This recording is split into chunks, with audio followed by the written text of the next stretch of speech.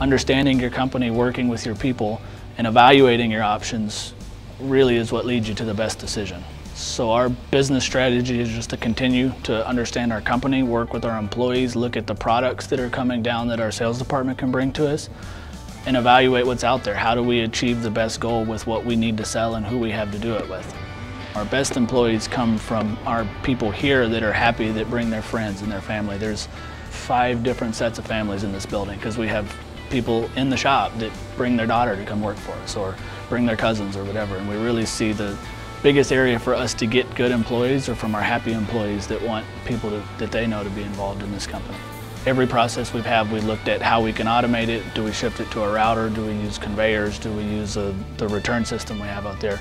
But we've examined every process we can and say what can we automate to take a less skilled person and be able to, to do more output.